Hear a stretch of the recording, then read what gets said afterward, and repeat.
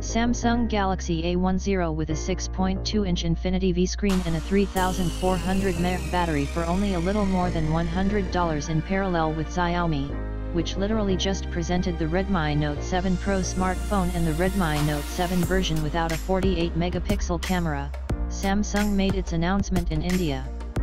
The South Korean giant presented the updated Galaxy A mid-range line in the Indian market.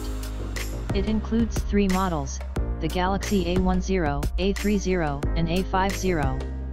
The global premiere of the last two took place on Monday, but the younger Galaxy A10, as we mentioned in the news with the announcement of the A30 and A50, missed it.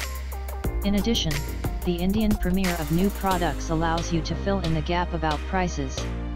Well, the Galaxy A10, as it is easy to understand by its designation, is the youngest and most accessible member of the updated Samsung Galaxy A.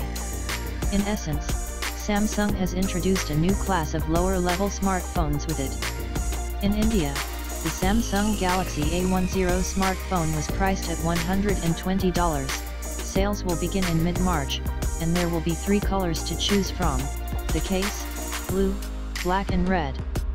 For this price, Samsung is a 6.2-inch Infinity V LCD display with a HD and resolution and a 19.5, 9 aspect ratio, a rare Exynos 7884 SoC, which was previously seen only once in the Galaxy J3V, 2GB of RAM and 32GB flash, memory. The latter can be expanded to 512GB microSD memory card. Also in the configuration are single main and front cameras with a resolution of 13 megapixels and 5 megapixels, respectively. Alas, the fingerprint scanner, the NFC module and the USB-C connector of this model did not get. But got enough capacious battery 3400 mAh.